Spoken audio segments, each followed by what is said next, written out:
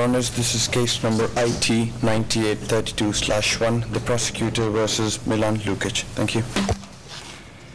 In light of the amendment of the indictment uh, against Mr. Lukic, we are here to uh, give him the opportunity to tender pleas to the amended charges. Um, and what I propose to do is uh, to invite him to plead in respect of all the charges uh, against him for the avoidance of any doubt about the effect of the amendment. Before we proceed to that, there are one or two formalities to be dealt with. First of all, Mr. Lukic, can you confirm to me that you are hearing the proceedings in a language which you understand?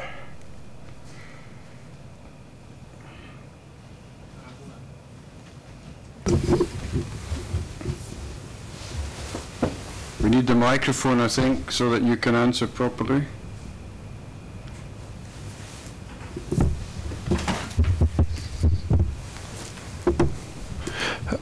Časni sud, razumio sam.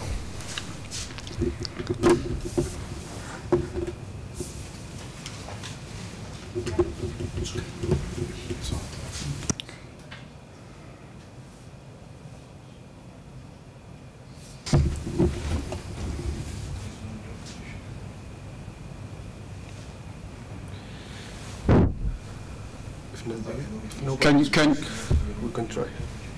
If nobody speak, we cannot. Can you now hear what I'm saying to you? Čujem vas, razumio. Yes, Your Honor, I hear and I can understand what you're saying. You hear it in a language which you understand.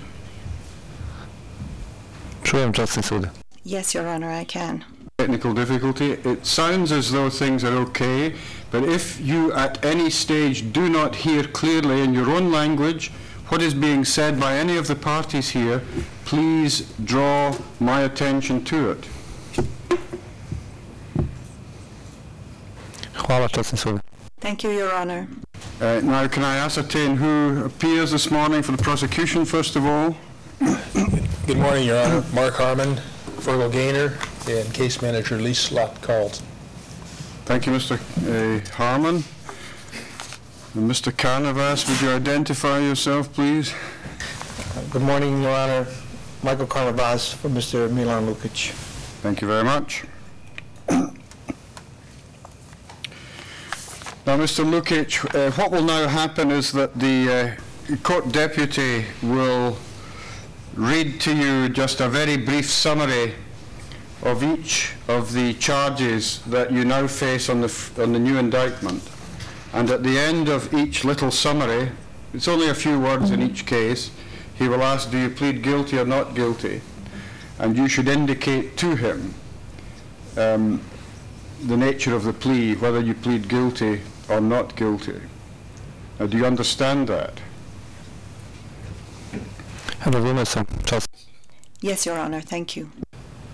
And just one uh, thing, I probably jumped ahead of myself, Mr. Karnavas. I should have confirmed with you, as was indicated to me informally, that the accused was happy to waive the right of the indictment read in full to him at this stage.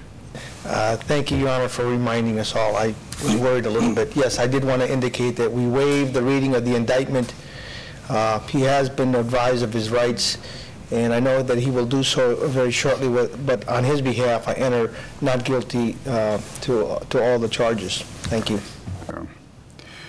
Um, While that sounds like a, a very sensible way to proceed, the, the traditional practice here is, is at least to summarize each of the charges individually and to take a plea from the accused on each charge individually. Now, while this is done, Mr. Lukic, could you stand up, please?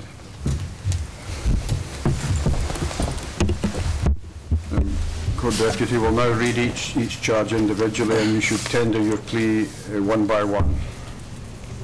Count one, persecutions, a crime against humanity. Do you plead guilty or not guilty?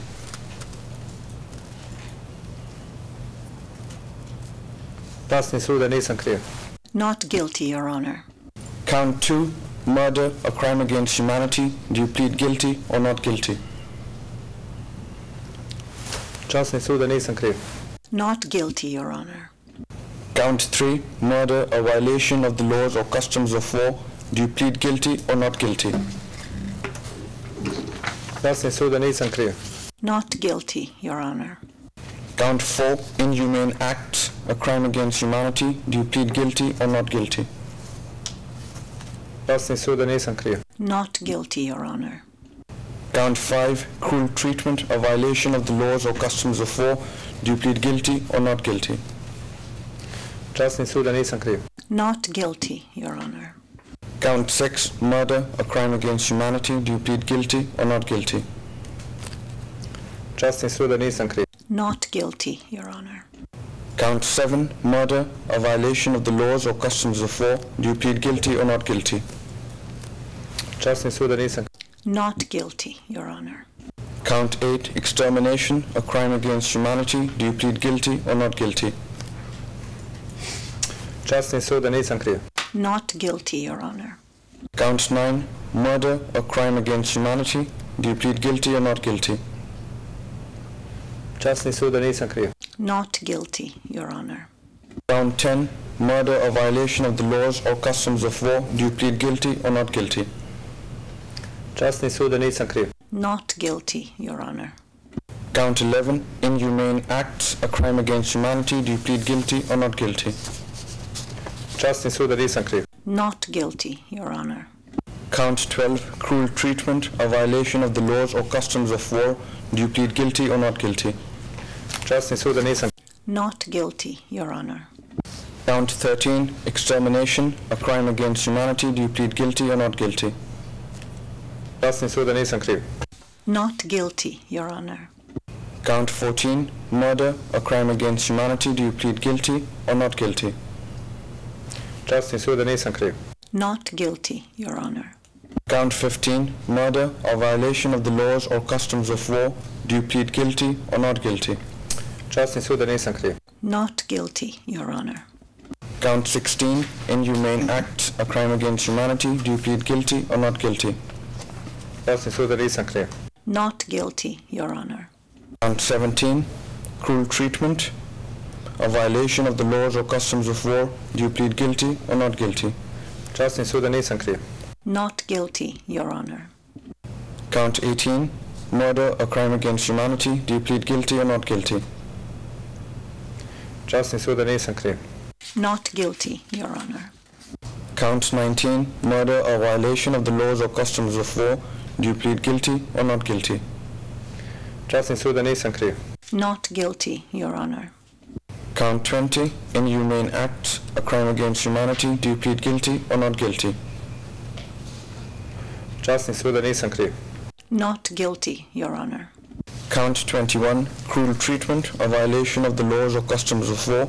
Do you plead guilty or not guilty? Časni sud da nisam kriv. Not guilty, Your Honor. Please be seated, Mr. Lukic. Hvala. Thank you. In view of the pleas that have been tendered, um, I invite the registrar to arrange a trial in due course, although I understand there are other proceedings also ongoing in relation to this particular accused. Um,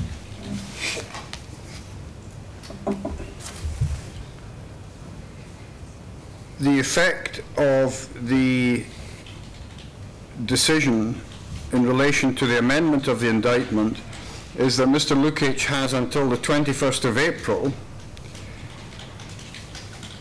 to file any preliminary motions in terms of Rule 50C, and the prosecution will have 14 days after that to file any response.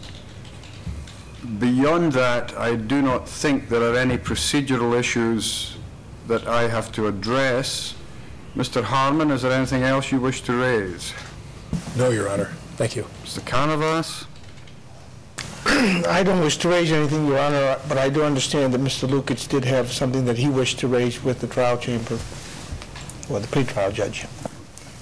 Mr. Lukic, Mr. Karnavas advises me that there is something you wish to address me on. What is that?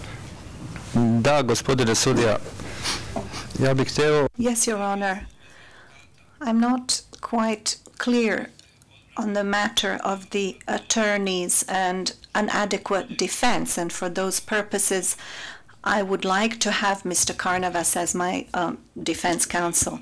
But since the registry did not grant my request, I would like to ask the trial chamber and the registry that if Mr. Karnavas is not able to be the um, chief uh, defense counsel, for at least uh, that he at least be in the team, because he's familiar with my case right from the beginning, since the my, my arrest and my extradition from Argentina. So, in order to have um, an adequate, uh, proper uh, defense, I would like to have Mr.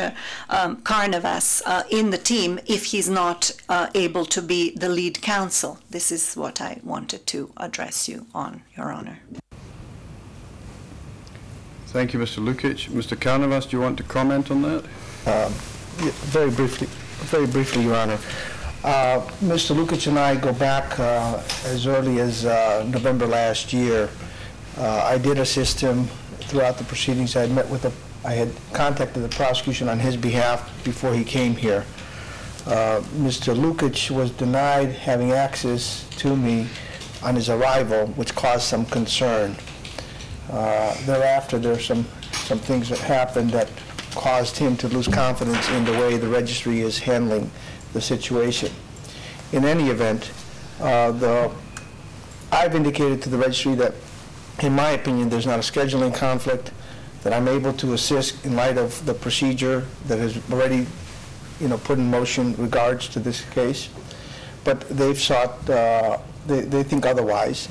Uh, Mr. Lukic, in any event, has asked me if I would stay on either as a co-counsel or as a consultant. I had indicated to him that I would, uh, you know, I have no objections to that. I would assist him. I am familiar with the case. We have begun a particular procedure that we think that can uh, resolve this case in an expeditious manner uh, to everyone's satisfaction. I think that's the most uh, important thing, and now it's up to the registry and his honor to, uh, to decide. Uh, He is concerned about the situation with respect to Argentina. I'm now told by the registry that that is an open issue, that uh, the registry never made guarantees to the government of Argentina that he would not be extra, uh, transferred to Sarajevo. This is news to Mr. Lukic. I've sought uh, disclosure material from the registry. We have not received it. I'm told that perhaps I'm being overzealous in representing Mr. Lukic at this stage since I'm not his permanent counsel. Uh, Although, as counsel of record, I think I'm obligated to carry out whatever instructions given to me so long as they're ethical and within the rules of procedure. But if you were to fall into the category of, of consultant as you describe it, is there a funding difficulty? Pardon? If you fall into the category of consultant, Yes. as you have described it, is there not then a funding difficulty? Well, the funding difficulty would be for, what- as I understand, we now have this lump sum system, and it would be within Oh, yeah. the, um, the lead counsel to, you know, to remunerate. There's a funding problem to be- to start with, with every case here, but, you know, uh, but it's not, it's, it's not a matter of of funding and us asking for additional funds. It's a matter of Mr. Lukic wanting me and the team to assist in this, uh, and guide him through the process. Uh, He has uh, met with two very good lawyers, both of whom I I recommended uh, for him to choose. Uh, So I'm confident in his choice, whatever, whoever he chooses. I'm, uh, I've worked with him, I've had long associations with him, uh, and so I'm willing to work with either one, and of course, assist the trial chamber in any capacity that that I can. But it's, I leave it up to the registry, and I leave it up to, to the trial chamber. Thank you. All right, well, I think I have a clear uh, understanding of the issue involved. Uh, It's not something I can deal with at this stage, but uh, I will uh, consider whether there is anything I can do on the matter, and if there is, then you'll be alerted to what action I think I can take. Thank you, Mr. Karnavas. Uh, Thank you. uh, Mr. Harmon? Your Honor, uh, I will inform the court uh, that it is our position that Mr. Karnavas has a conflict of interest in representing uh, this defendant and representing defendants, a a past defendant. We have made that clear in correspondence to Mr. Karnavas. There have been discussions about that.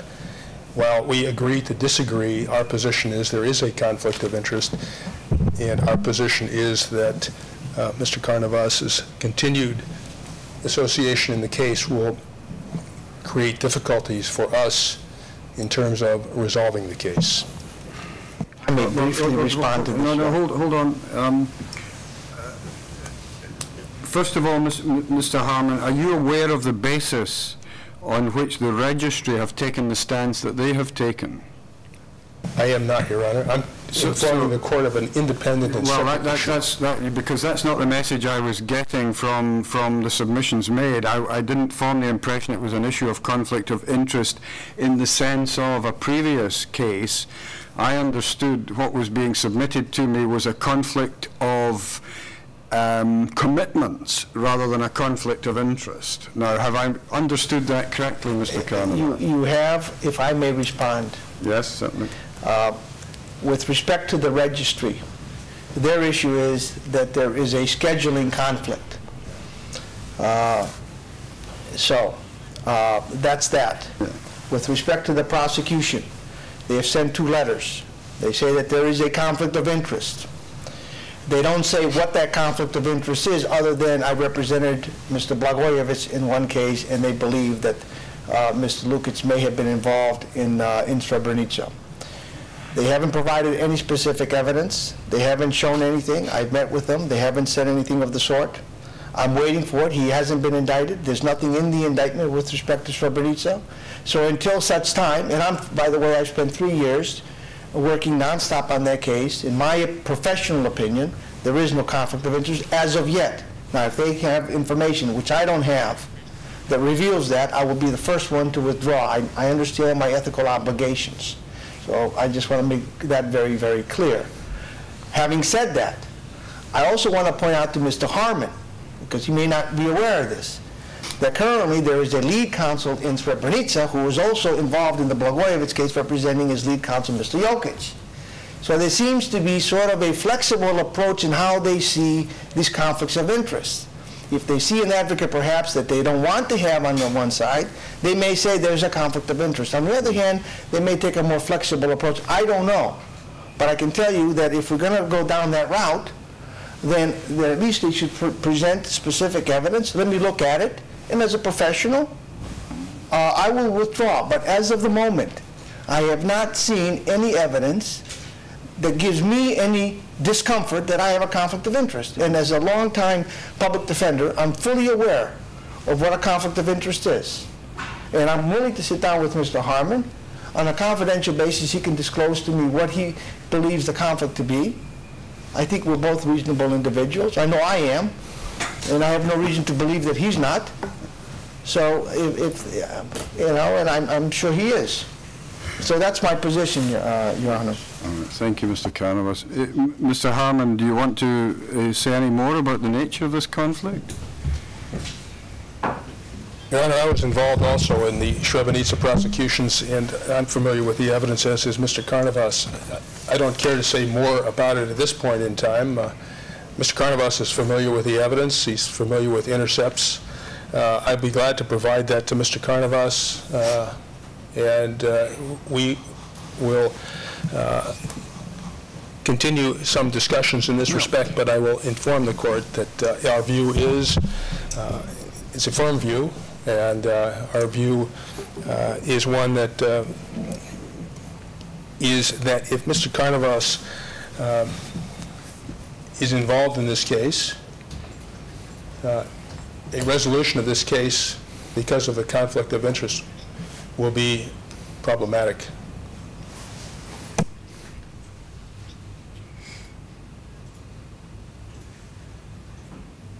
Well, um, i- it's all a mystery to me. Uh,